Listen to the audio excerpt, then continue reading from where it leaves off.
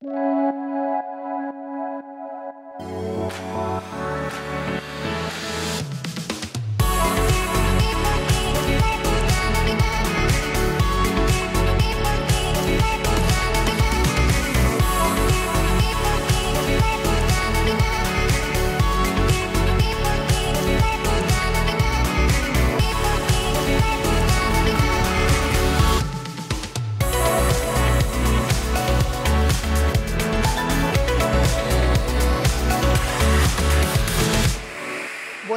benvenuti nel Lumen Cocktail Bar del San Regis di Roma per una nuova puntata di Talking Suite, l'unico salotto televisivo ad occuparsi del mondo hospitality and travel. Grazie ad MHR che anche quest'anno ha avuto l'idea di questa produzione bellissima che va avanti da tre edizioni, come ogni volta, come ogni anno, accanto a me c'è una vera personalità del mondo travel hospitality italiana e non solo, il nostro Palmiro Noschese. Ciao Alessandra, benvenuta, benvenuta a te, buonasera a tutti i radioascoltatori, telespettatori e grazie per essere qua naturalmente. Di cosa parliamo Palmiro oggi? Beh, oggi parliamo di un argomento che a me sta tanto al cuore, che è la ristorazione. Non l'avrei detto, sai? Glocal, Open All Day, i nuovi trend food and beverage influenzano le strategie della ristorazione alberghiera fino a farla diventare la vera esperienza, sia nel mondo degli alberghi, sia nel mondo dei beach club, ma sia nei mondi dei locali in genere. Quindi la ristorazione al centro e oggi naturalmente ne parliamo. A permetterci di parlare di questo interessante argomento e di tutti gli altri che trattiamo qui a Talkie Suite sono i nostri due sponsor. Dorelan, leader nella realizzazione di materassi e sistemi letto di qualità per il mondo hospitality, e STS Hotel, produzione di sistemi di building automation per strutture ricettive. Allora, presentiamo subito questo nostro parterre importantissimo con cui discuteremo il tema di oggi. E a cominciare dal dottor Giuseppe Rosati, owner e partner di GM Partners Vin Italy e International Ambassador. Grazie di essere qui con noi questa Benvenuto. sera. Grazie.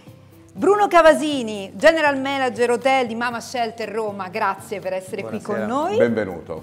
Flavio Greco, owner di Rama Beach Club di Baia Domizia, grazie. Benvenuto Flavio. E con noi anche il Pidio Capasso che è l'executive chef proprio del Rama Beach Club. Benvenuto. Grazie, grazie infinite per avermi invitato. Benvenuto.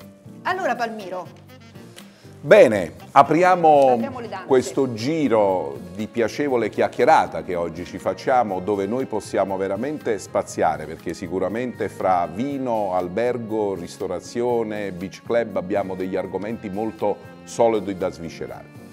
Io inizierei innanzitutto eh, da Bruno, volevo iniziare da Bruno che è il GM del Mamma Shelter. Perché da Bruno? Perché innanzitutto è a Roma, e perché eh, secondo ha portato diciamo, una delle innovazioni romane che è già operativa e aperta, un concept di ristorazione all'interno dell'albergo. Mi posso permettere di dire che è quasi più un ristorante che un albergo, anche se poi l'albergo ha 200 camere, quindi non è che non ha 217 camere. Però la ristorazione è il core business, è un core business non solo da un punto di vista di ricavi e profitto, ma anche da un punto di vista di esperienza del cliente e richiamiamo la parola local, che a me mi sta molto a cuore, Think Global, Act Local. Quindi sostanzialmente questa ristorazione che Bruno ci parlerà è sì per i clienti dell'albergo, ma ancora di più è per le persone locali, quindi per le persone del quartiere, per i romani che vogliono andare a fare un'esperienza di ristorazione diversa. Allora, raccontaci un po', Bruno, a te la parola. Palmiro, hai detto bene, tu sei un assiduo frequentatore e ti ringrazio per questo. Ehm, Mama Shelter è un brand di stampo francese, fa parte della catena alberghiera Accor. In particolare noi facciamo parte della divisione lifestyle di Accor che si chiama appunto Ennis More, che comprende 14 brand che vanno dai 5 stelle lusso fino agli ostelli. Quello che contraddistingue il brand di Ennis More è il fatto di avere una ristorazione molto spiccata eh, che produrrebbe, dipende dal tipo, dal numero di camere, noi almeno abbiamo anche 217 quindi per noi è un po' più ehm, sfidante, Ehm, però la ristorazione eh, supera anche il 50% del fatturato degli hotel. Per quanto riguarda Roma, noi abbiamo eh, quattro F&B outlet che si, si, dividono tra il ristorante e giardino d'inverno, la pizzeria, il giardino d'estate con cabana bar e il rooftop terrace. E, um, 217 camere vanno sicuramente ad aiutare il, il fatturato della ristorazione, però avendo quasi 700 posti a sedere, eh, quello a cui noi puntiamo principalmente, come dicevi te Palmiro, è la clientela locale. La clientela locale è mm, fondamentale per noi anche per creare questa esperienza, oltre di ristorazione, ma anche di ospitalità global. Cosa significa? Che eh, il turista straniero, comunque non di Roma, eh, si ritrova all'interno di un albergo dove non, non, solo ci sono altri turisti, ma ci sono proprio eh, eh, cittadini del, della città, del quartiere, di Roma comunque. Quindi questo crea una situazione di interazione, a me piace definirla anche un po' magica e unica, perché da turista io posso andare in un posto dove trovo le persone locali, no? quando noi andiamo in vacanza e chiediamo al concierge dove posso andare a mangiare, dov'è che andresti tu, non chiediamo più dove, andare, dove, dove, mangiare, dove dovremmo andare a mangiare, ma più, piuttosto diciamo tu, proprio tu receptionist o tu cameriere, dove vai a mangiare quando sei con gli amici e quindi questo avviene in Mama Shelter in quanto una, sono ristoranti eh, frequentati dalle persone di contesto di Prati dove l'hotel è posizionato ma comunque devo dire anche un po' tutte le parti di Roma. Questa, questa, unione va a creare questa magia in cui il turista trova la persona del posto e la persona del posto trova il turista. Quindi tutto questo si fa in un... Um, ci vuole molta creatività. È vero che l'ambiente di per sé è molto... Mama Scelte viene definito flambant come, come tipo di, di, arredamento, quindi molto colorato, molto ehm, ci sono molte piante, c'è molto arredamento, ci sono stili differenti, passando da un ristorante all'altro si crea questo mix and match perfetto in cui in qualche maniera questi ambienti si incastrano bene insieme che poi vanno a definire la multiculturalità eh, tipica di Mama Shelter. Eh, Mama Shelter puoi venire vestito in giacca e cravatta, puoi venire vestito con i pantaloncini corti e tu eh, sei ma non sei protagonista, quindi nessuno va a notare tu come sei vestito in quanto è l'ambiente stesso che crea quella situazione. E, ehm, noi ci siamo riusciti anche eh, continuando sempre a stimolare la nostra creatività e quindi creare delle opportunità per cui eh, devi venire. C'è un programma molto fitto durante la settimana che va appunto dal, lunedì, dal lunedì alla domenica in cui il lunedì eh, abbiamo pensato di proporre l'All You Can Eat Pizza in un percorso di, eh, di pizza eh, romana gastronomico però, quindi diciamo una pizza Ma gourmet. scusa Bruno, però sì. mi hanno detto che non avete il gelato. Allora, il gelato è un'altra cosa fantastica. Chi ti ha detto questa cosa qui eh, ti ha detto Proprio una bugia. Lui, Anche perché tu sai bene esatto. che quando sei venuto l'hai mangiato due volte il gelato. Quindi... Allora devo ritornare perché non me lo ricordo. Vabbè, torneremo. Allora, il gelato per esempio dici bene perché comunque il gelato in albergo forse è l'ultima cosa che penseresti. È l'ultima cosa che penseresti. L'ora della merenda del Mama Shelter che è stata introdotta pochi mesi fa, circa due mesi fa è, sta avendo sempre più successo, è un piccolo buffet che viene riallestito il pomeriggio eh, in cui i gelati sono tra i protagonisti insieme a torte fatte in casa, dolci, crepe, waffle. Ma di fatti Bruno, la mia battuta voleva un po' portare al fatto, non so se le vostre esperienze, ma io una quarantina d'anni ho lavorato in albergo e, e, e, ho girato migliaia di alberghi in giro per il mondo, ma il panico è sempre quando in albergo chiedi un gelato. Dici, ma c'è un gelato? Forse sì, una pallina, devo vedere, che gusto? Forse cioccolato, limone, poi probabilmente ti arriva questa pallina di gelato un po' ghiacciata effettivamente è un po' un talone d'Achille della il gelato, il gelato lo facciamo noi, giornalmente lo rimantechiamo sì. e viene fatto assolutamente con ingredienti l'esperienza probabilmente perché poi volevo eh, passare anche agli altri ospiti, ma volevo evidenziare una cosa, anzi ti do un assist per evidenziarla, perché io credo che la cosa più importante del Mamma a parte questi concept di ristorazione che Bruno spiega bene ed è a 360 gradi anche con cucina panoramica, quindi c'è di tutto e di più, ma al di là di questo, Io credo che l'esperienza sia l'innovazione che chi ha creato questo brand, perché io la prima volta che sono stato in un mamma shelter non faceva parte del gruppo Accor, ma era stata la visione di un francese che aveva aperto un ristorante con albergo fuori Parigi, sostanzialmente, che era diventato un posto che tu quando andavi a Parigi, a prescindere, andavi a mangiare in quel posto, il famoso destinazione. E poi io penso e ripenso a questa cosa, dice, pensa te, un francese è riuscito ad aprire un posto e adesso li apre in tutto il mondo perché ha creato un concept, perché oggi la ristorazione, come tutte le cose, bisogna creare un concept. Ce lo racconti un po' meglio e poi dopo volevo dare sì. la parola a Flavio Greco e poi anche sì. alle... perché secondo me c'è come dire, anche una, uno storytelling eh, ispirazionale nel concept Sì, sì, assolutamente. La persona a cui fai riferimento te è Serge Trigano, che insieme al figlio Geremia e Benjamin hanno creato il concept Mama Shelter. Loro eh, creando Mama Shelter a Parigi nel 2007, quindi stiamo parlando di 15 anni fa, quindi quando parliamo adesso di innovazione nella ristorazione, loro erano già avanti 15 anni fa e, e mantiene lo stesso concept, eh? non è cambiato nulla, ovviamente è incrementato il numero degli alberghi e dei ristoranti, però il concept rimane sempre quello. La loro ispirazione viene principalmente dal nonno di Jeremy che è Gilbert, che negli anni 40-50 diciamo, ha creato il Club Mediterraneo, quello che adesso conosciamo come Club Med. E, e, e crea, com, che cosa aveva creato di nuovo e innovativo allora? Un ambiente che era inclusivo, per cui tutti erano benvenuti al club mediterraneo, ti spogliavi dei tuoi vestiti letteralmente, ti mettevi la collana di fiori e non importa se eri il notaio, l'avvocato o l'operaio, ma tutti erano all'interno di questo villaggio turistico all inclusive e ci si divertiva. Lusso e... democratico. Democratico, assolutamente. La stessa cosa, lo stesso concetto, ovviamente è molto diverso perché adesso stiamo parlando di un albergo con tanta ristorazione, però lo stesso concetto rimane Fuori dal Mama Shelter c'è una bandiera bianca in tutti i Mama Shelter. La bandiera bianca è la bandiera dell'inclusività, non c'è nessun segno, non c'è nessun simbolo.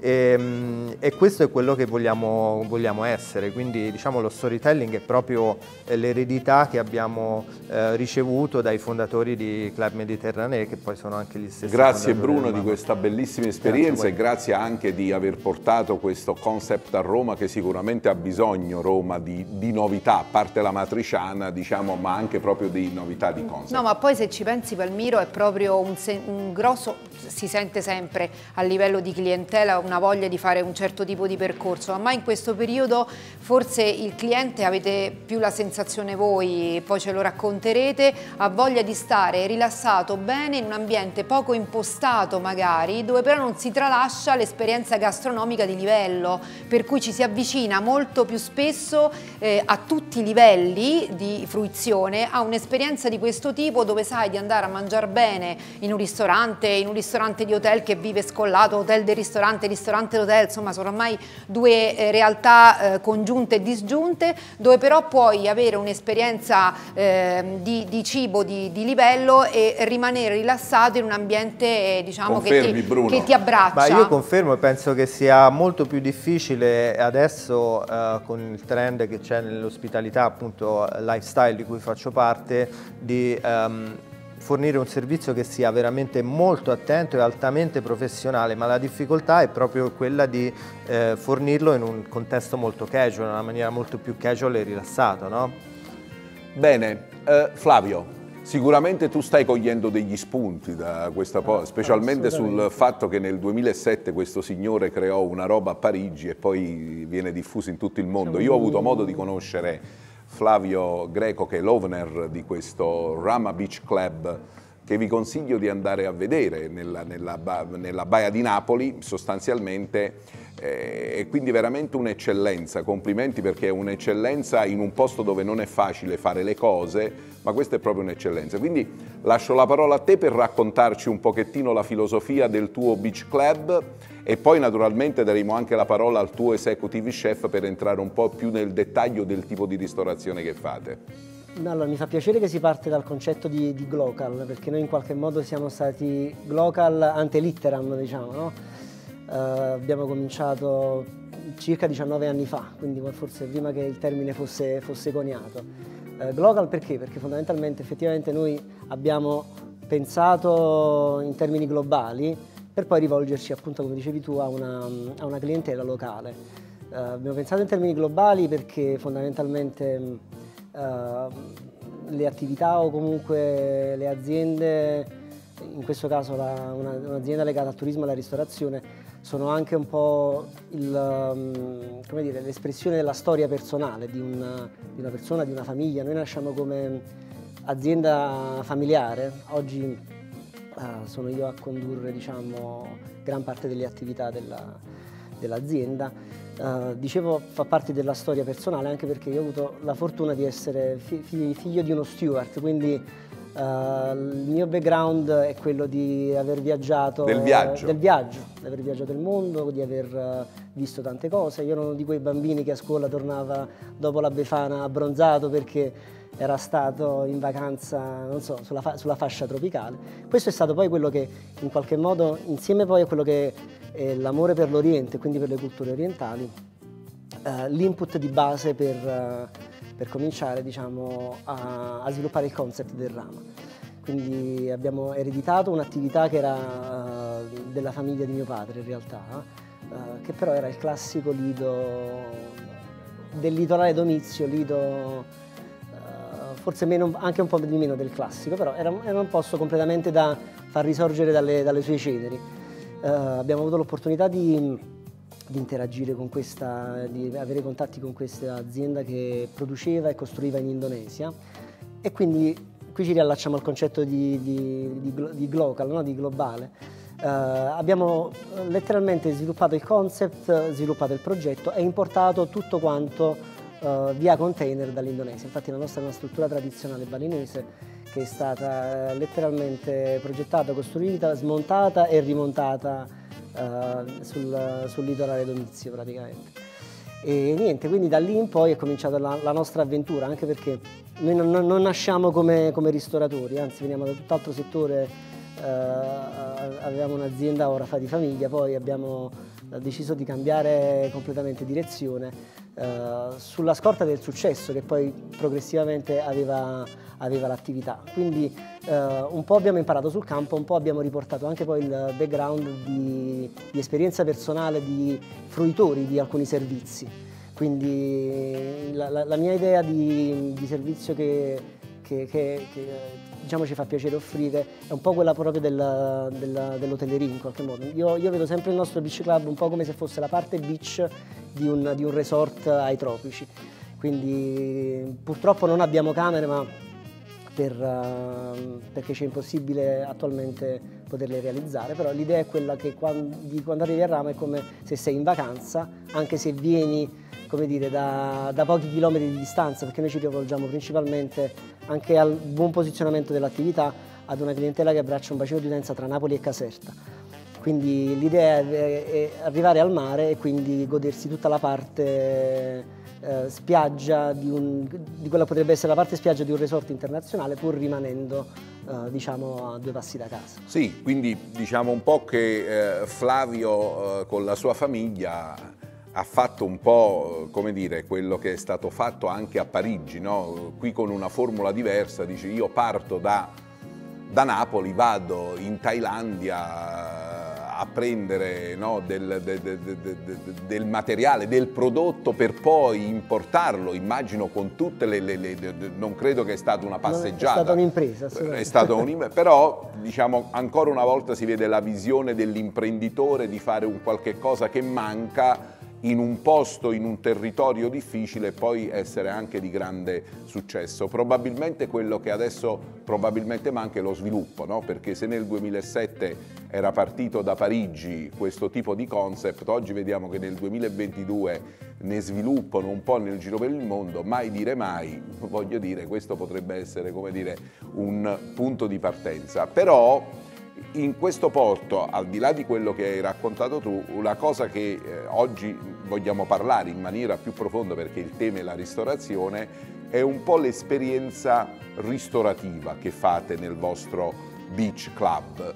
eh, che non è solo quella del balneare, ma anche quello degli eventi, dei matrimoni, eh, eh, dei piccoli incentive e tutto questo gira praticamente intorno all'idea di base che l'executive chef del Rama Beach Club ci prova a raccontare. Quindi ti lascio la parola. Grazie Palmiro. Allora, il nostro stile di cucina è leggermente diverso da quello che si può pensare da una cucina locale. Um, io faccio parte di una struttura dove ho la fortuna di avere i mezzi e uh, con i mezzi si può fare tanto. Noi esercitiamo uno stile di cucina prettamente vegetariana e vegana al tempo stesso. Uh, con gli anni eh, non è stato facile, non è stato facile perché comunque eh, diciamo che ancora oggi, eh, anche se con gioia, io lo confermo, l'80% della nostra clientela non è vegetariana, però si avvicina tantissimo al nostro concept anche perché la gente è curiosa. La curiosità ti spinge ad avere e a fare tante cose e io di questo ne posso essere soltanto felicissimo. Uh, il mio intento è quello sempre di manipolare la materia prima rispettandone la stagionalità eh, e deliziare innanzitutto la mente attraverso l'emozione e poi tutto il resto. Infatti oggi, grazie ai corsi di formazione che gli anfitrioni mi permettono di fare, sperimentiamo e brevettiamo nuove ricette.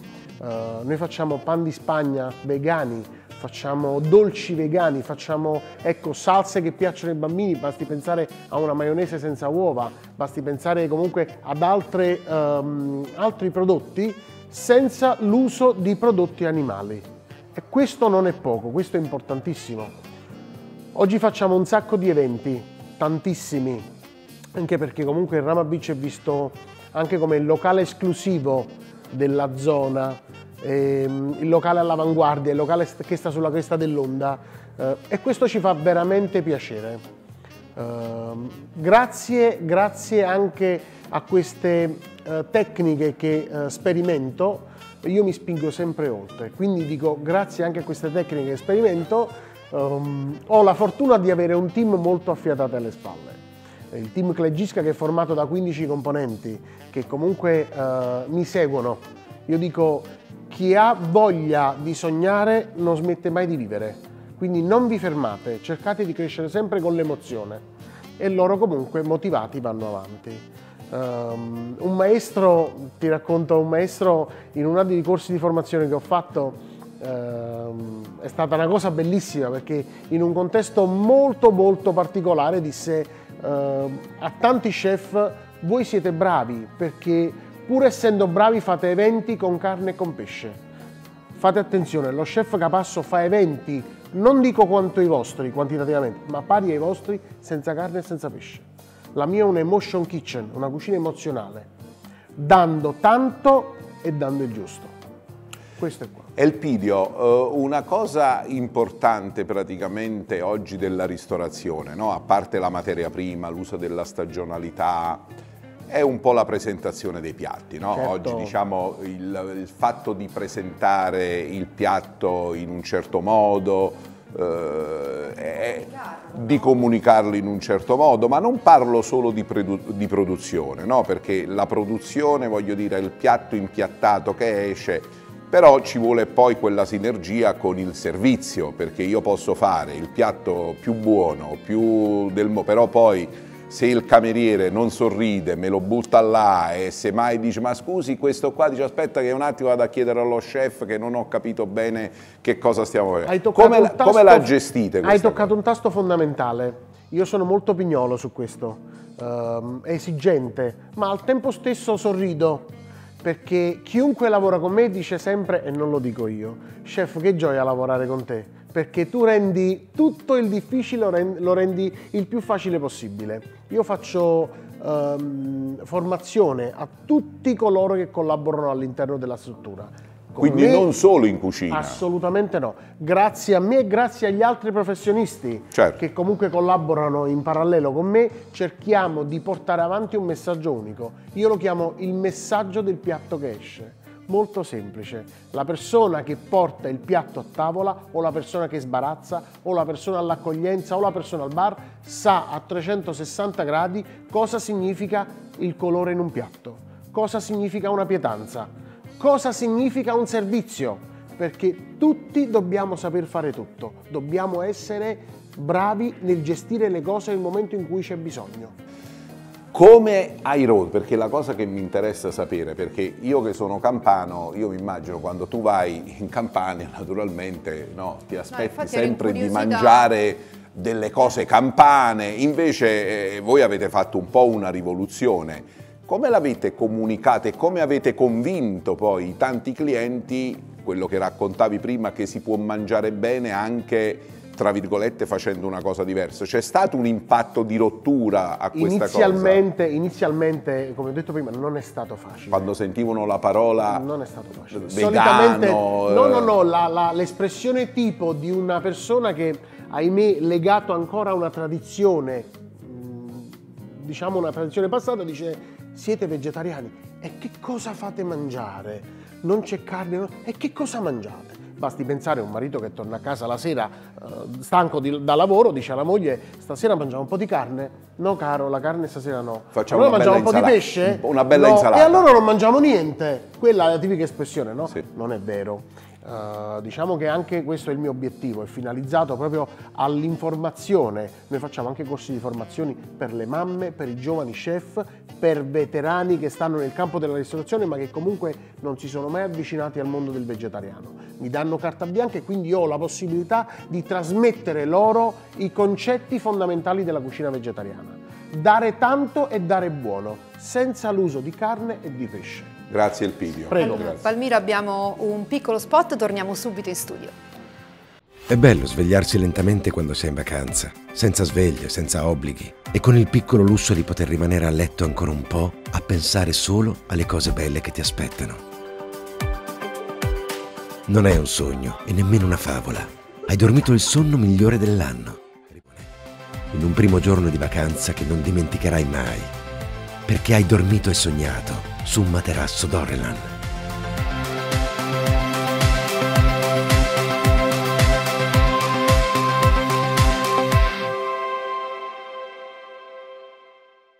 Bene, ritorniamo in studio e diamo la parola al eh, dottor Rosati che, che comunque ha, ad ascoltato, ho visto con grande attenzione, no? diciamo un po' questa evoluzione del food and beverage in generale, ma lui è un uomo di mondo, anche se vive a Gubbio, però passa molti mesi all'estero, principalmente a New York, grande esperto di vino, di wine, ma non solo, ma anche di food e di ristorazione internazionale. A questo punto volevo un tuo highlights proprio su questo specifico, diciamo, segmentazione di ristorazione e naturalmente parlare anche un po' di esperienze del bere, eh, perché poi oggi mi dicono eh, che da un punto di vista di profittabilità il beverage con il beverage si fanno i soldi sostanzialmente, con il food un po' meno, io dico che poi il connubio dell'esperienza devono viaggiare un po' di pari passi. Però ti lascio la parola per avere un tuo feedback. Grazie Palmiro, innanzitutto grazie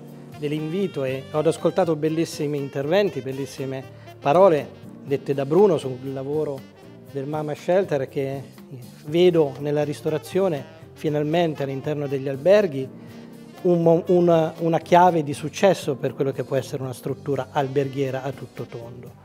E ho poi ho sentito le bellissime parole dello chef del progetto è molto importante secondo me, anche innovativo, perché, e soprattutto da sottolineare l'aspetto della formazione. Lui diceva giustamente, e anche tu lo sottolineavi, come si comunica, come si fanno a sapere, come si porta a conoscenza di queste cose. Credo che in Italia, e io come dicevi, vivo da diversi anni negli Stati Uniti e mi faccio un po' da spola a destra e a sinistra, dove ho assistito, ho vissuto e ho partecipato all'interno della ristorazione di fascia alta sia in alberghi che in, in ristoranti dove l'aspetto formativo, comunicare, far sapere da parte della cucina ma anche da parte della sala e dalla parte della sommellerie al cliente finale quello che, sta- che si sta facendo, il, eh, messaggio che si sta comunicando con un piatto, con un vino che è un'altra parte importante dell'esperienza all'interno di un ristorante. Eh, per venire proprio al beverage, tu dicevi come si, eh, come si costruisce una carta, qual è la profittabilità. Io mi sono trovato a gestire, eh, nella mia esperienza negli Stati Uniti, delle carte di vino molto importanti, dove la proprietà mi dava delle responsabilità molto ingenti e dei risultati che volevano ottenere. Era diventata una, una scommessa anche per me perché da italiano uh, andare a vivere negli Stati Uniti, a New York è una città enorme, cosmopolita, con una miriade di clientela differente, saper proporre vino italiano era diventata una e cosa con molto milioni di ristoranti con e milione, di outlet milioni di di food and ristoranti beverage con- e concept. Esatto, era diventata una scommessa anche personale molto importante. Eravamo all'interno, ad esempio, di un albergo dove eh, con circa 150 stanze avevamo tre ristoranti all'interno, tre servizi ristorativi all'interno ed eravamo a Times Square. Avevamo il fine dining, classico ristorante bello, di- con una cucina molto mediterranea, molto aperta all'Europa e poi avevamo un bar gourmet dove si facevano anche dei piatti e poi il PDR, le, le zone per... Ed io ero responsabile di tutta questa parte del beverage, dove, eh, dicevo prima, è, è diventata una parte fondamentale perché saper acquistare e saper rivendere il vino e quindi anche comunicare, si diceva prima, il bellissimo termine G-Local. Cosa c'è di più di G-Local e di un vino? Di un prodotto fatto a Barolo piuttosto che a Montalcino o fatto in Campania o in Sicilia e poi proporlo e saperlo rivendere all'interno del ristorante a 9000 km di distanza. Saper interpretare e saper dire questo è un prodotto che viene dalle Langhe, questo è un prodotto che viene dalla Toscana e poter interagire con il cliente facendogli capire, facendogli conoscere quello che è il nostro territorio. Lì è stata una scommessa molto importante anche perché con tutto il personale che avevo a disposizione in sala e soprattutto con eh, sommelier team abbiamo dovuto fare tanta formazione ed abbiamo coinvolto anche la cucina.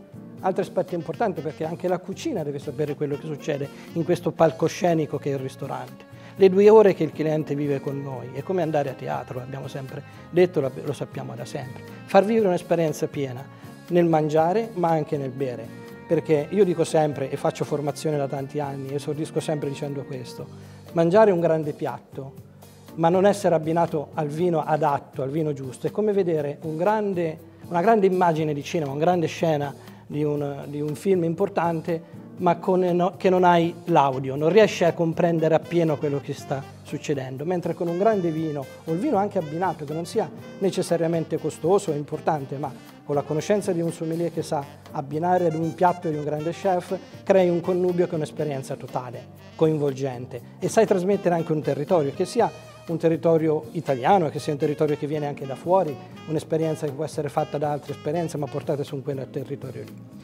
Dicevamo prima del beverage come, come centro di guadagno, è una parte del centro importante perché comunque eh, ci sono investimenti molto oh, importanti all'interno delle proprietà per quanto riguarda il beverage. Uh, devi dare dei risultati molto importanti. Noi avevamo, io ero riuscito ad ottenere uh, un beverage cost all'interno di questo ristorante dove fatturavamo oh, 15 milioni di dollari di fatturato e nell'ultimo periodo io facevo circa 5 milioni di vino di vendita con un beverage cost intorno al 26-27% che era un, un, buon risultato, il mio goal era di portarlo al 25%, alcuni mesi riuscivamo a farlo.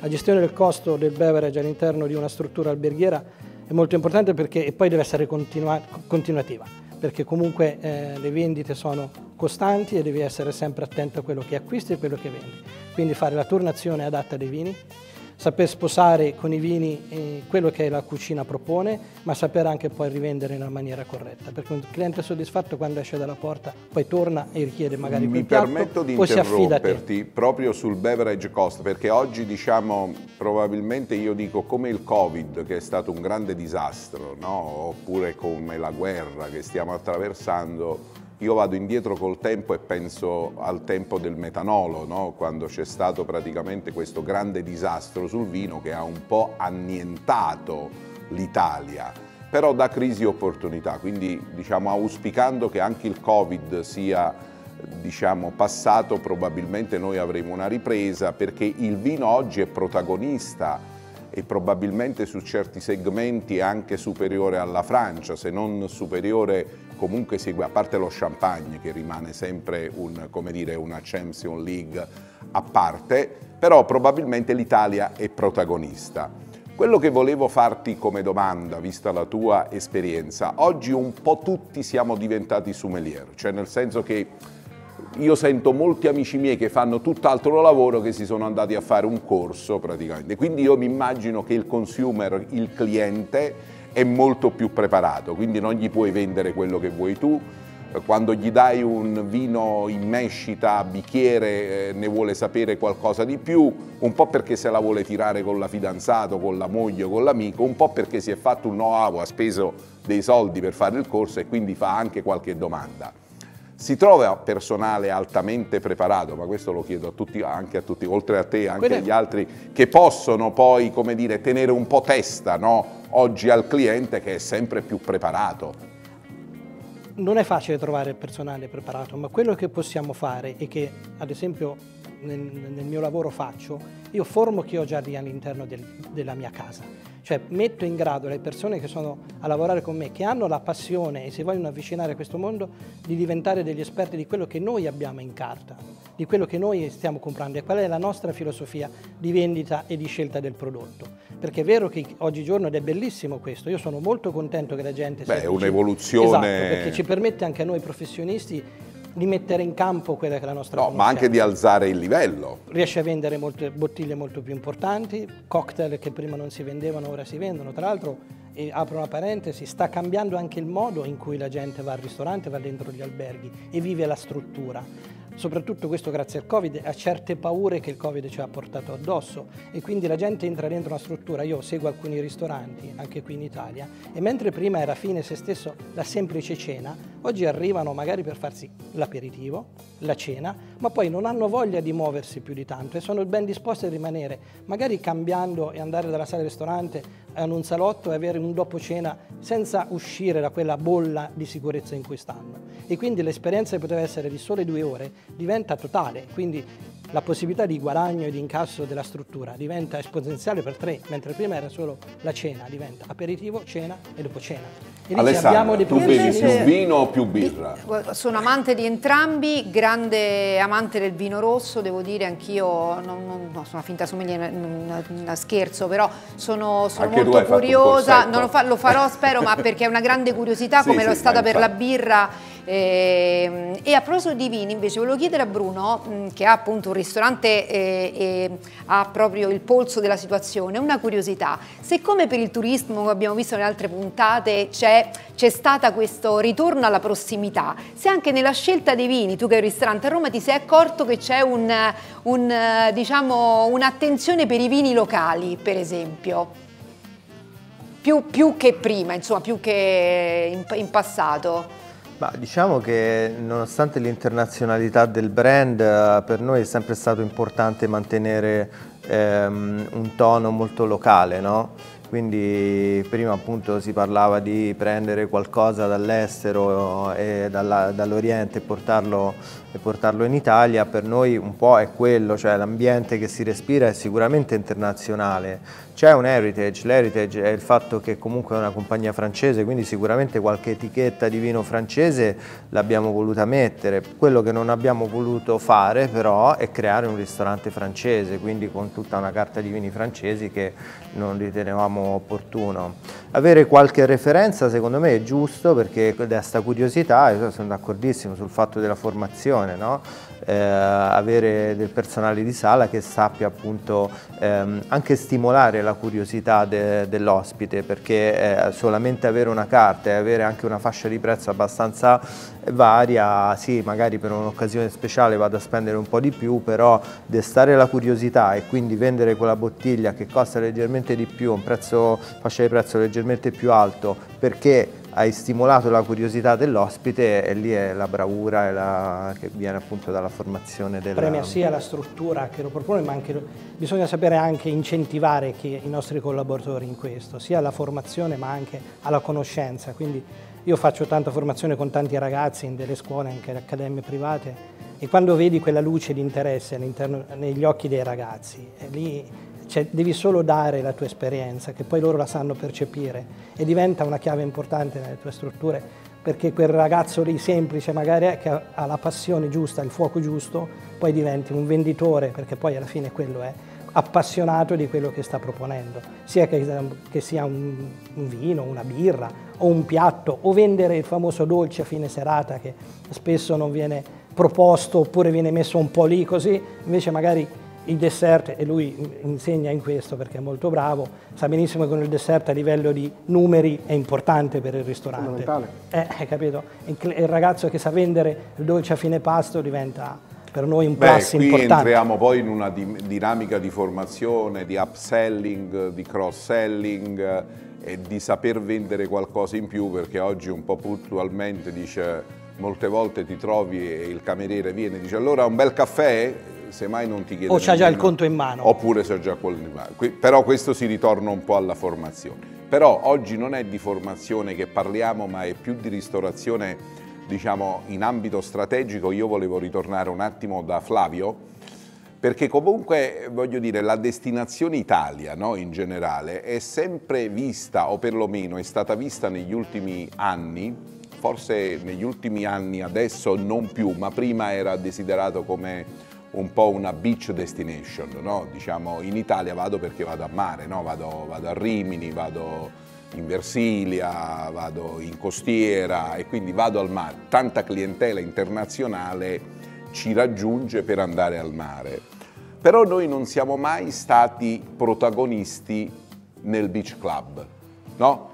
Perché è passata sempre la nota dello stabilimento balneare, ci sono stabilimenti balneari un po' da tutte le parti, però non c'è mai stata un'emergenza emer- un emergente, tra virgolette, che ha creato un qualche cosa, un po' come sta cercando di fare Briatore, no? con il Twiga a Forte dei Marmi, o qualcun altro che si cimenta in qualche beach club da, da- da poter praticamente lanciare. Ecco, siccome voi fate questo, diciamo, eh, non avete mai pensato, e al di là se l'avete pensato, perché questo fenomeno non si è sviluppato diciamo a mo' di Nikki Beach, a mo' di Nobu Hospitality, no? di far diventare, tra virgolette, lo stabilimento balneare nel mare un qualche cosa di eccezionale, dove vado a bere anche la bottiglia di champagne, perché un po' dalla mia esperienza lo stabilimento balneare molte volte alle 6 di sera è chiuso e, voglio- e la festa è finita, cioè voglio- invece ci sono tanti metri quadrati a disposizione che si possono fare tante cose, ma nessuno ne ha mai approfittato. Io credo siano diversi fattori, un po' è mh, legato al, come diciamo prima, all'esperienza, al background culturale di, di chi gestisce uno stabilimento, dall'altra parte è anche legato un po' al- all'ambizione, alla passione, all'amore che tu metti nel lavoro. Eh, credo che molti dei miei colleghi si siano in qualche modo accontentati di offrire un servizio, fittare il lettino, Ombrellone, la ombrellone, cabina. la, la Coca-Cola in lattina e finisce là.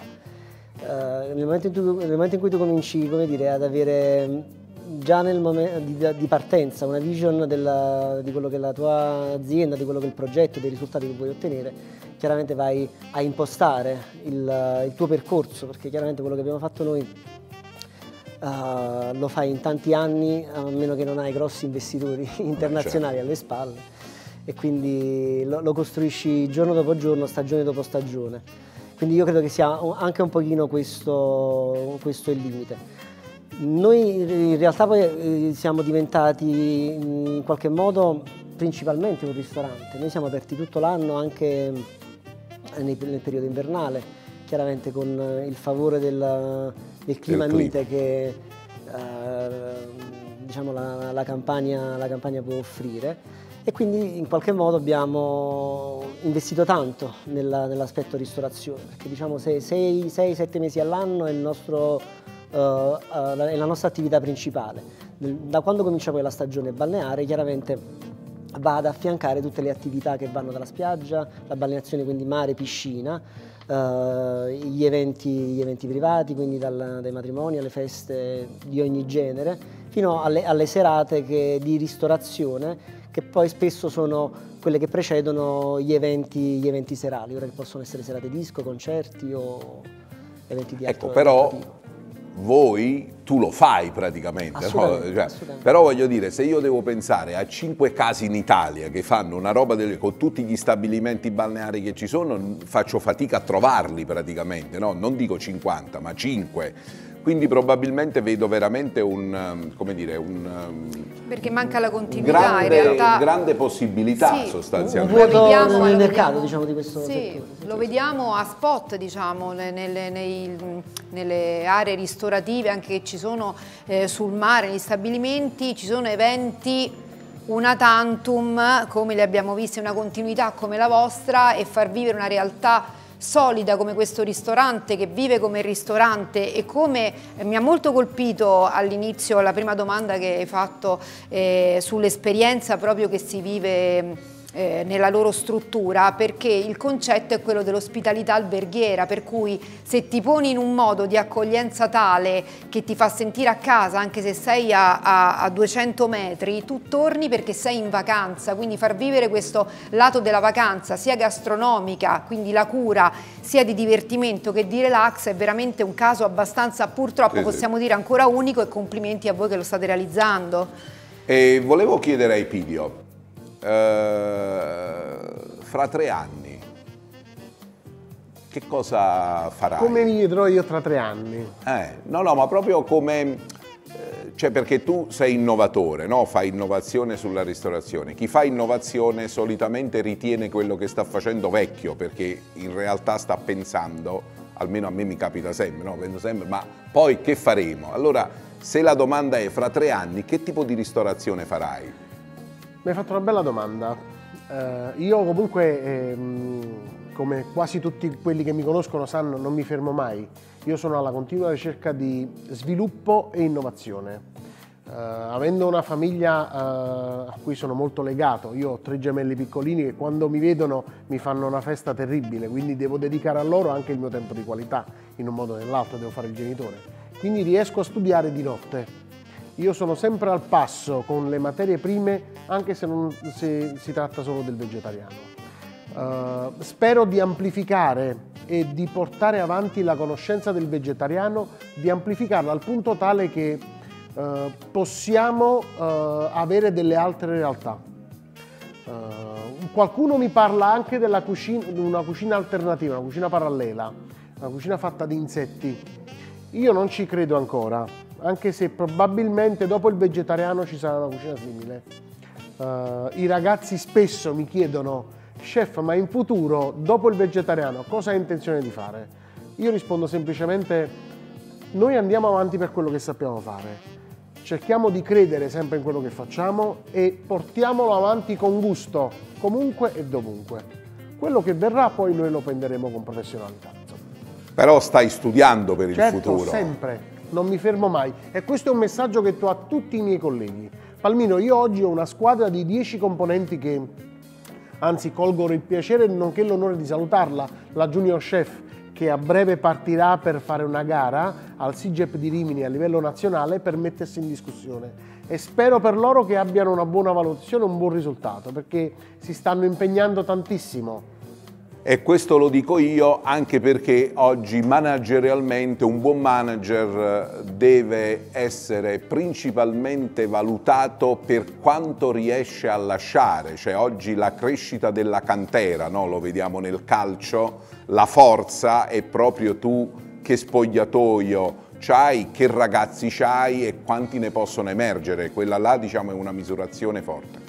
Io andiamo in chiusura perché siamo in chiusura e volevo chiudere con Rosati. Eh, faccio una domanda simile anche a te sul vino sostanzialmente, no? Prima o poi supereremo la Francia in tutto praticamente da un punto di vista di vino? Allora, domanda non è facile. un'ossessione questa esatto, di, superare, domanda- di superare i francesi. Domanda- eh. Francesi in ascolto, tappatevi le orecchie. L'Italia ha delle carte nel, nel- nel panorama enologico di qualità indiscussa. Ha dei numeri molto importanti, basta dire un dato su tutti. Certificati ci sono ben 475 diverse tipologie di uva a livello 475. Sì, ufficiale. Non ufficiale superiamo le 700. Non a caso l'Italia era chiamata Enotria, la terra del vino.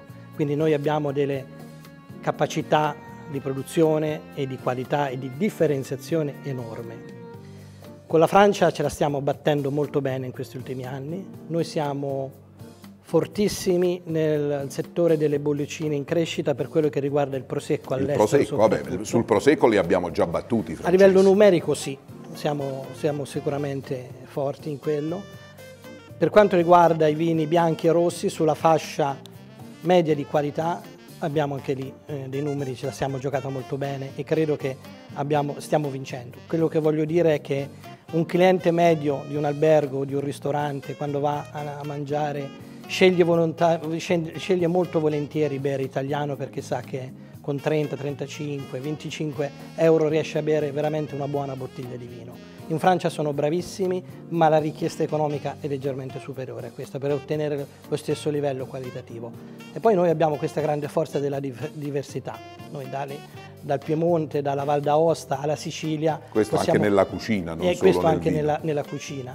Un dato bellissimo, io ho vissuto questo negli ultimi 15 anni negli Stati Uniti, che tantissimi alberghi che hanno aperto in questi ultimi anni a New York, dove io vivevo, avevano un po' abbandonato la cucina francese o la cucina giapponese che era molto in voga e stanno inserendo hanno inserito la cucina, lo chef italiano in voga a quel momento e quindi di seguito tutto il vino italiano, la nostra cultura e la nostra identità. Questo sta succedendo molto. Grazie molte, non abbiamo parlato di stelle Michelin eh, perché questo poi è un altro grande, grande, grande tema.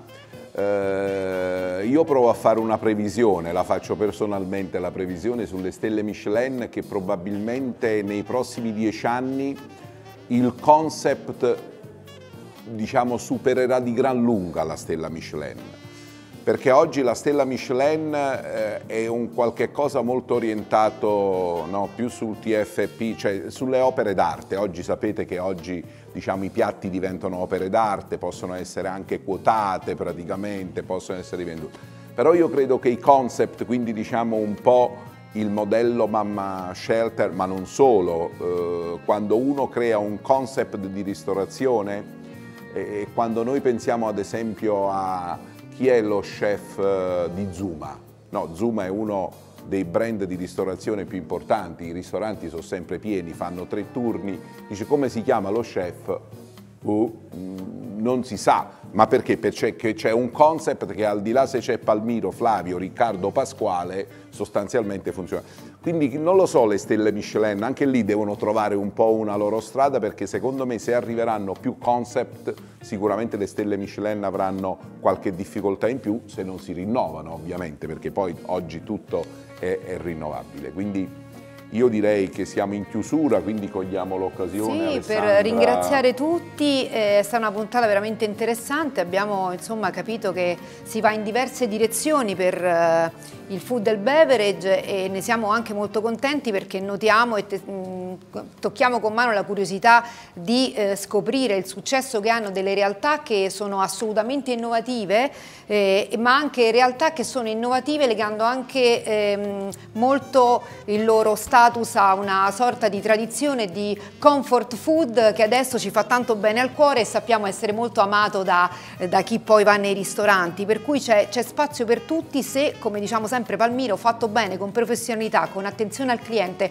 con voglia di, eh, di studiare, di imparare, di provare. E devo dire che negli ultimi tempi la clientela è, molto più orientata alla, a questo tipo di curiosità e ne siamo molto felici, quindi speriamo che questo dia diciamo un E poi bisogna investire in pubblicità e comunicazione, perché quando abbiamo un bel quadro e non lo facciamo vedere, eh, lo sappiamo solo noi che ce l'abbiamo. Eh, quando abbiamo un bel locale non lo facciamo vedere, probabilmente questo è un grosso limite. Eh, il budget della pubblicità e del marketing e insieme a quello della formazione sono quelli che vengono sempre tagliati, no? E allora io dico forse è meglio eh, un punto in meno di food cost, però lasciare qualche euro praticamente nell'investimento della comunicazione del marketing, specialmente oggi attraverso la digitalizzazione, che è tutto molto più facile, tra virgolette non è nemmeno molto dispendioso, però dobbiamo fare, farci vedere e poi avere la capacità di sviluppare. Diciamo, la, la, gli internazionali rispetto a noi hanno quella capacità di saper fare le cose, le fanno molto peggio rispetto a come le facciamo noi, ma poi hanno la grande capacità fanno che noi arrivare, non abbiamo, sì. che le fanno arrivare da tutte le Vero. parti e questo noi ci dobbiamo essere ancora molto bravi a farli. E quindi io colgo l'occasione per ringraziare i nostri panelist, i nostri speaker, che sono venuti anche da vicino e da lontano, quindi veramente una bella opportunità per noi ascoltare le vostre storie, ma ancora di più per i nostri telespettatori eh, di sentirle e di poterle apprezzare. Allora ringraziamo chi ci ha permesso di eh, condurre questa interessantissima puntata, i nostri sponsor Dorelan Leader nella realizzazione di materassi e sistemi letto di qualità per il mondo hospitality e STS Hotel produzione di sistemi di building automation per strutture ricettive. Ringraziamo ancora una volta gli ospiti eh, che sono stati con noi, il dottor Giuseppe Rosati, Bruno Cavasini, Flavio Greco, grazie, grazie anche il Pidio che è stato con noi e ci ha raccontato questo suo nuovo modo che per fortuna non sarà così nuovo in futuro e sarà sempre in presente di vedere la cucina. Grazie mille a tutti voi che ci avete seguito dal St. Regis Lumen Cocktail Bar. Vi diamo appuntamento con Talking Suite per la prossima puntata. Vi ricordiamo sempre di tenere d'occhio i nostri canali social, YouTube, Instagram, Facebook, di iscriverci se avete anche delle proposte per le nuove puntate che andremo a realizzare. Il nostro sito è www.medioterradio.com allora mi raccomando, stay on web, web with, with us. us.